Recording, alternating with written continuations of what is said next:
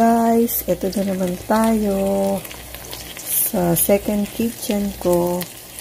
Uh, nagisa na po ako ng bawang, sibuyas, at nilagay ko yung aking uh, pinapritong isda. Ayan po yung tilapia. Inimay-himay ko.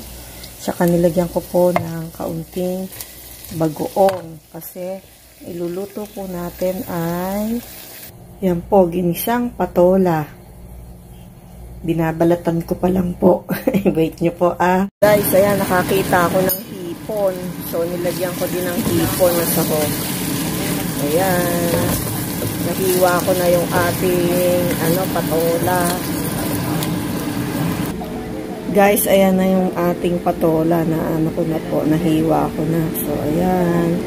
Luto na natin. Guys, ayan, nilagay ko na po yung patola. Lagyan ko ng 1 cup of water. Hello guys, ayan na po. Luto na yung ating patola. Ang sarap. Kain po tayo. My God, gutom na gutom na ako. Galing kasi kami sa ano, doctor's appointment ng alaga ko.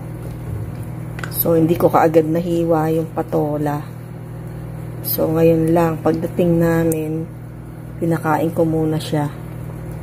Then, yan. Tsaka ko pa lang po na ano, naluto ang aking ulam. Yan po. Meron pa akong tilapia.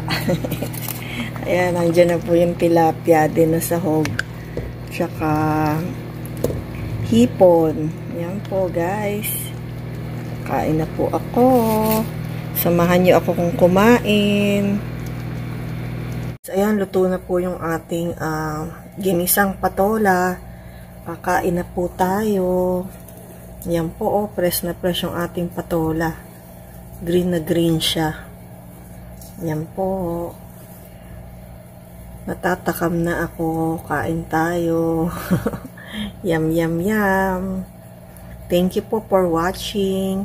Ingat po lagi. God bless. Ma, ma, ma.